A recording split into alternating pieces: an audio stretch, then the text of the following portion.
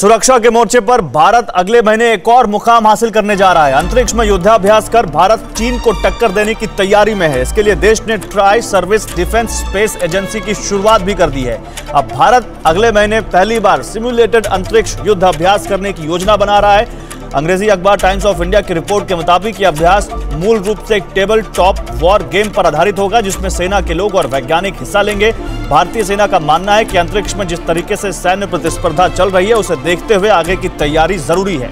जुलाई के अंतिम हफ़्ते में होने वाले इस अभ्यास का मुख्य उद्देश्य देश की काउंटर स्पेस क्षमताओं का आकलन करना भी है। और इससे हमारी राष्ट्रीय सुरक्षा की तैयारियों का भी पता ज़रूर चलेगा।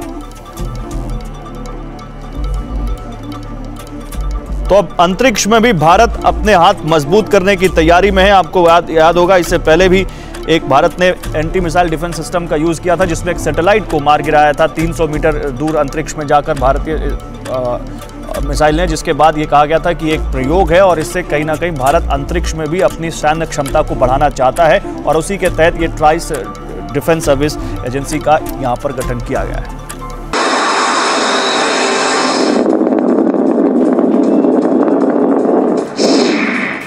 भारत ने अंतरिक्ष में कर दिया है। ऐलान जंग। अद्भुत, अविश्वसनीय, अकल्पनीय। ये वो शब्द हैं जो इस वक्त भारत की स्पेस टेक्नोलॉजी पर बिल्कुल सटीक बैठ रहे हैं।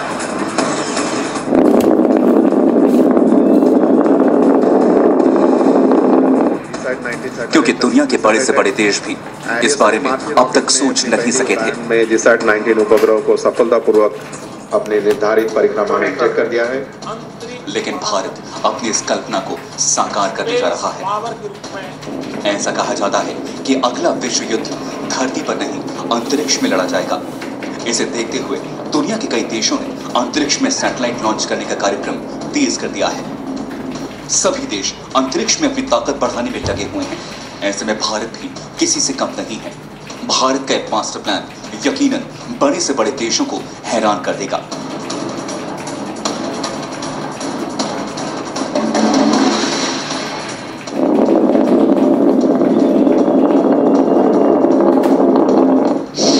आखिर कैसे भारत अंतरिक्ष में करेगा युद्धाभ्यास?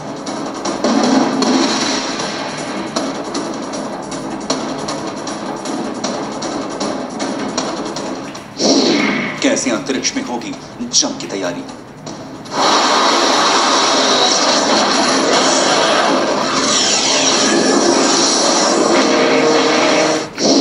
अगले आधे घंटे तक देखिए, भारत का मिशन अंतरिक्ष।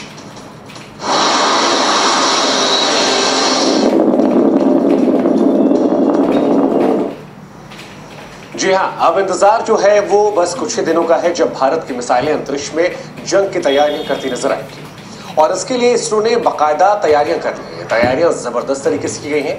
इसरो की प्लानिंग को देखकर आपकी आँखें जो है वो हैरान हो जाएँगी, फटी की फटी रह जाएँगी। और ये कोई साधारण इवेंट नहीं होगा, बल्कि पूरी दुनिया की नज़र जो है वो भारत के अंतरिक्ष में होने वाले इस युद्धाभ्यास पर टिकी होगी। इसलिए आप भी आँखें खोलकर ध्यान से इस खास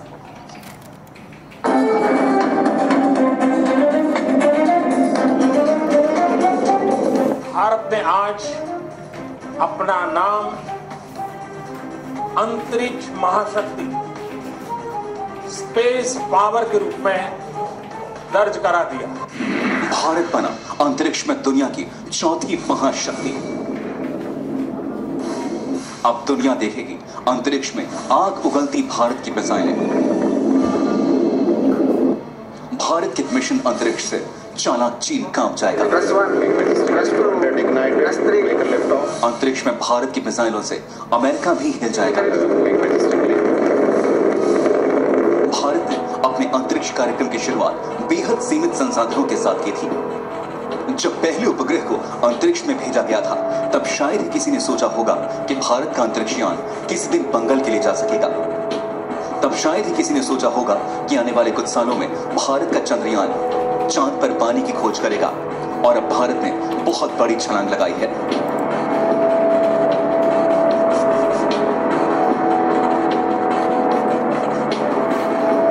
अब सिर्फ़ कुछ दिनों का इंतज़ार है। अगले महीने जब अंतरिक्ष में भारत की मिसाइलें आग उगलती नज़र आएँगी, जब भारत की मिसाइलें बेकार हो चुकी सैटेलाइट्स को नष्ट करती नज़र आएँगी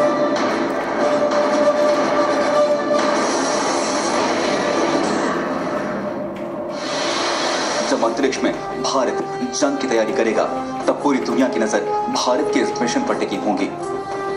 क्योंकि आधी से ज़्यादा दुनिया अभी से हैरान हो चुकी है कि भारत जैसा मुल्क इतना बड़ा मील का पत्थर कैसे हासिल कर सकता है। लेकिन भारत ने यह सब कर दिखाया है। भारत अंतरिक्ष में अपनी ताकत का एहसास पूरी दुनिया को करा चुका है और अब अपनी राष्ट्रीय सुरक्षा को और भी मज़बूत करने के लिए भारत ने ज़बरदस्त तैयारियाँ की हैं। इन तस्वीरों को देखिए। ये सिर्फ़ मार्च में ही हुआ था, यानी अब से सिर्फ़ दो महीने पहले। इसमें सैन्य और वैज्ञानिक समुदाय से जुड़े लोग हिस्सा लेंगे। आप इसे ऐसे समझ सकते हैं कि यह एक युद्धाभ्यास है, युद्ध का अभ्यास है। और यह युद्ध अभ्यास क्यों ज़रूरी है? क्योंकि आपके पास में एसेट्स हैं, आपके पास में एक धन है। अब अगर हमारे पास में एसेट्स हैं और इस एसेट्स को हम लोग नियंत्रित नहीं करें, इसकी रक्षा नहीं करें, इस पूरे पहलू को तो कोई भी हमें इनकैपेसिएट कर सकता मतलब कोई भी हमें पंगु बना सकता है। तो यह पंगु कोई नहीं बना पाए, इसीलिए हम इस युद्धाभ्यास को कर रहे हैं, जिससे कि हम उनको संरक्षित करने का काम कर सकते हैं, उसे संरक्षण देने का काम कर सकते हैं। दो महीने पहले ही भारत ने अंतरिक्ष में एंटी सैटेलाइट मिसाइल का परीक्षण किया था। हमारे वैज्ञानिकों ने अंतरिक्ष में, स्पेस में 300 किलोमीटर दूर एलईओ लो अर्थ ऑर्बिट में एक लाइव सैटेलाइट को मार गिराया है। LEO low orbit. में यह लाइव सैटेलाइट, जो कि एक पूर्व निर्धारित लक्ष्य था, उसे anti satellite A SAT missile द्वारा मार गिराया गया है। जब प्रधानमंत्री ने देश के नाम संबोधन में खुशखबरी दी थी, तब किसी ने सोचा तक नहीं होगा कि भारत इतनी जल्द इतने बड़े मिशन की तैयारियों में लगा हुआ है। अब सवाल है कि आखिर भारत का स्पेस प्रोग्राम है क्या? कैसे भारत अंतरिक्ष में और मज़बूत होगा? इसे समझिए। अंतरिक्ष में विरोधियों पर नज़र रखने में मदद मिलेगी। देश की तीनों सेनाओं का हौसला आसमान पर होगा। देश की राष्ट्रीय सुरक्षा और मज़बूत होगी। मिसाइल की चेतावनी, सटीक टारगेट टेक्नोलॉजी मज़बूत होगी। अंतरिक्ष में मिलने वाली चुनौतियों से निपटने में मदद मिलेगी। अगर कोई कोशिश करे हमारे सेटेलाइट को डिस्ट्रॉय करने की तो हम भी उसके सेटेलाइट को डिस्ट्रॉय करने की स्थिति में हों। जब तक आप दूसरे को इन्फ्लिक्ट नहीं कर सकते हैं कैजुअलिटी इन्फ्लिक्ट नहीं कर सकते हैं मतलब सेटेलाइट की कैजुअलिटी और जब तक उनको नुकसान नहीं पहुँचा सकते हैं, तब तक ये करना बहुत मुश्किल रहेगा। इसका मतलब यह भी आता है कि कोई भी अभी जैसे डिफेंस से ऑर्गेनाइजेशन के जितने भी वेबसाइट्स हैं, वो रह रहे हैक हो जाते हैं। तो हैक कौन करता है? तो दुश्मन कोई देश करता है, उस पार्ट को करता है। वो हैक नहीं कर पाए, इसलिए यह युद्धाभ्यास ज़रूरी है। ऐसा भी है कि अगर आपने एक सेटेलाइट छोड़ा और वह सेटेलाइट को किसी ने डिस्ट्रॉय कर दिया तो आपने जिस उद्देश्य से उस सेटेलाइट को छोड़ा था, उसे डिस्ट्रॉय कर दिया, वो डिस्ट्रॉय नहीं कर पाए और आप भी डिस्ट्रॉय दूसरे के सेटेलाइट को करने की स्थिति में रहेंगे, यह भी इंपॉर्टेंट हो जाता है इसके लिए। भारत ने इससे पहले लो अर्थ ऑर्बिट में सैटेलाइट को मिसाइल से बाँध गिराया था। कहा जा रहा है कि इस बार अंतरिक्ष में होने वाला युद्धाभ्यास भी लो अर्थ ऑर्बिट में होगा। आखिर ये होता क्या है, इसे भी समझिए। लो अर्थ ऑर्बिट का मतलब पृथ्वी की निचली कक्षा से है। धरती से 120 से 2000 किलोमीटर की दूरी के बीच का ऑर्बिट है। इसमें आने पर कोई भी चीज़ बेहद तेज़ी से नीचे गिरती है। बेहद ऊंचाई से नीचे आने पर ज़्यादा नुकसान होता है। और यह भी इंपॉर्टेंट आता है कि पूरे के अब जो युद्ध होगा, वो युद्ध अब ज़मीन और सतह पर नहीं होगा। वो बहुत ही कम होने की उसकी आशंका है। अगर आप स्पेस को कंट्रोल कर लेते हैं तो आप स्पेस से क्या क्या चीज़ें कंट्रोल कर सकते हैं? आप ट्रूप मूवमेंट कंट्रोल कर सकते हैं। आप जो मिनिस्ट्री ऑफ़ डिफेंस है आर्मी हेडक्वार्टर और जो युद्ध में सैनिक हैं, उनके बीच की बातचीत को आप नियंत्रित कर सकते हैं। आप यह भी नियंत्रित कर सकते हैं कि अगर आपको एटम बम भी छोड़ना है तो अंततः आपको इसका सहारा लेना पड़ता है। आप उसको भी नियंत्रित करने काम कर सकते हैं। आप कहीं भी किसी को सेटेलाइट भी मिसाइल भी मारना चाहते हैं तो उसके लिए भी सेटेलाइट की ज़रूरत पड़ती है।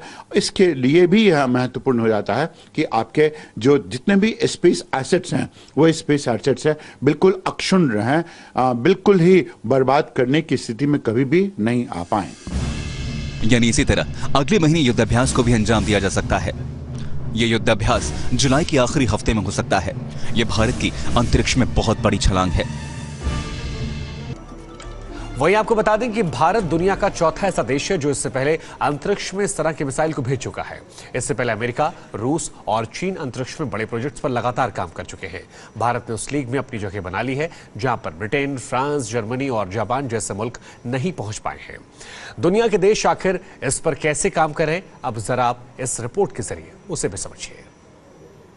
When it comes to defending America, It is not enough to merely have an American presence in space. We must have American dominance in space.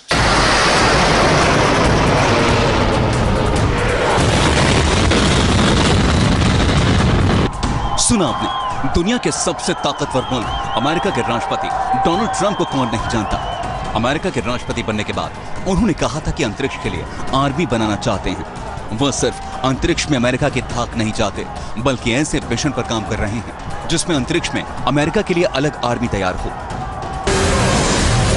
Donald Trump ने अचानक स्पेस फोर्स बनाने का ऐलान कर अंतरिक्ष में हथियारों और सेनाओं की मौजूदगी को लेकर बहस छेड़ दी थी।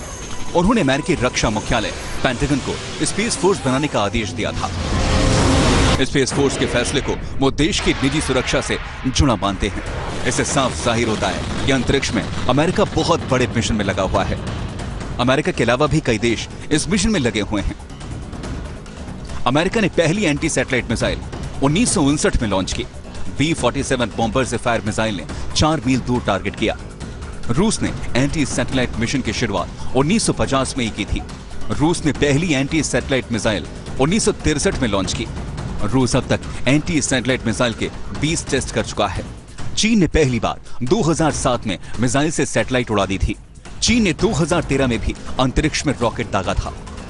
भारत के अलावा सिर्फ़ अमेरिका, रूस और चीन ने ही अब तक एंटी सैटेलाइट मिसाइल से टारगेट को निशाना बनाने के मिशन को अंजाम दिया है और अब इस कड़ी में चौथा मुल्क बन गया है, हिंदुस्तान। भारत ने आज अपना नाम अंतरिक्ष महाशक्ति स्पेस पावर के रूप में दर्ज करा दिया है। भारत की सबसे खास बात यह है कि भारत अंतरिक्ष से जुड़े अपने मिशन में सबसे कम पैसे खर्च करता है। यानी कम पैसों में भारत बड़े से बड़े मिशन को अंजाम दे देता है। यह खुद प्रधानमंत्री मोदी कह चुके हैं।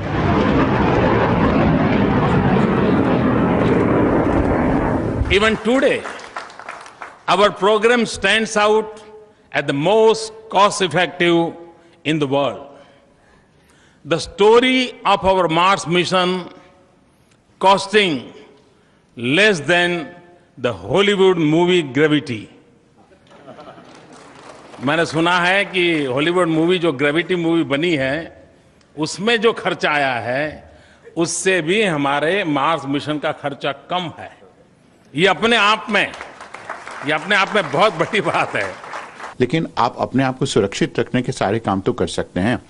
इससे सिर्फ़ इतना ही होगा कि आप अपने आप का अपना बचाव चीन से कर सकते हैं।